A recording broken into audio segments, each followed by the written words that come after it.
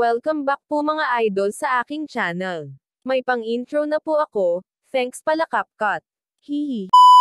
So ayun nga, ang daming nagtatanong sa akin, mapa Facebook, TikTok at YouTube, kung paano daw magkaroon ng advanced server na account sa ML or Mobile Legends. Ang totoo po niyan mga idol ay hindi ko din po alam.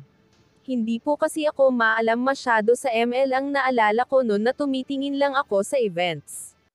Nang may nakita akong events tungkol sa advanced server, pinindot ko lang din yung go at biglang charan. Advanced server account na. Bago pala ako nabigyan ni Munton ng advanced server account mga idol ay, may mga ginawa muna ako para magkaroon ng connection kay Munton. Feeling ko talaga mga idol na ito ang mga dahilan kung bakit ako nagka-advanced server.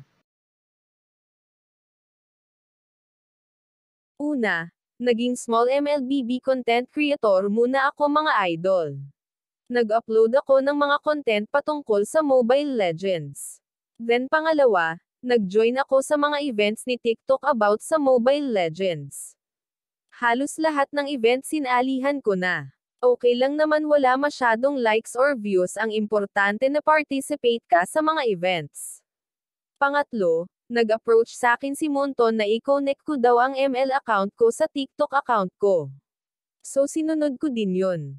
Pang-apat mga idol, kapag nagpo-post ako nga mga videos or content, it's either sa TikTok or sa Facebook account ko, ay gumagamit ako ng mga hashtags, kagaya na lang nga MLB Beta Official, MLBB Creator Camp, MLBB Content Creator.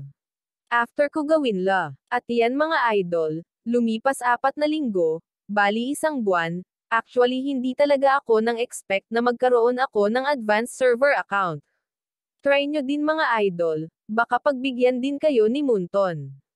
Yan lang po pala for today's video. Thank you for watching.